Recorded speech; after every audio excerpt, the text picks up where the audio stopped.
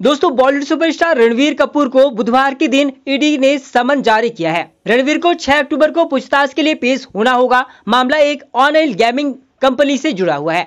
Media reports की माने तो रणवीर कपूर ने एक ऑनलाइन गेमिंग ऐप का प्रमोशन किया था, जिसके बदले में कैश मनी ली थी। इसी मामले को लेकर रणवीर कपूर की मुश्किलें अब बढ़ती नज़र आ रही है। ईडी ने 6 अक्टूबर को उन्हें पेश होने का आदेश जारी किया है।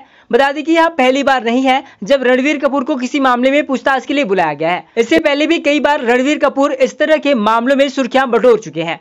रणवीर कपूर को साल 2012 में भी राजस्थान में कोर्ट में पेश होने का समन जारी किया गया था। साल 2012 में रणवीर कपूर अपनी फ़िल्म ये जवानी है दीवानी की शूटिंग के लिए उदयपुर में थे। इसी दौरान उन पर एक मामला दर्ज हुआ था, जिसमें रणवीर कपूर पर सीआरपीसी सेक्शन एक तीन के तहत मामला दर्ज किया गया था।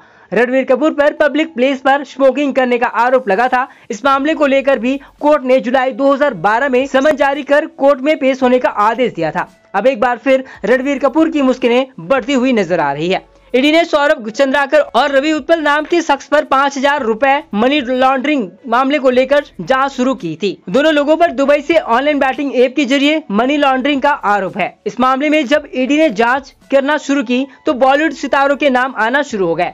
सौरभ चंद्राकर ने इसी साल फरवरी महीने में दुबई में शादी की थी। बता दें, इस शादी में कथित तौर पर 200 करोड़ रुपए खर्च किए गए थे। शादी में बॉलीवुड सितारों ने भी प्रदर्शन किया था। इन सितारों में टाइगर श्रॉफ, कृति खरबंदा, कृष्णा अभिषेक, सुखविंदर सिंह, भारती सिंह, भाग्यश्री, विशाल ददलानी, अली अशरफ राहत फतेह अली खान, नेहा कक्कर नुसरत भरूच और सनी लियोन जैसे सत्रह बॉलीवुड सितारों के नाम शामिल थे।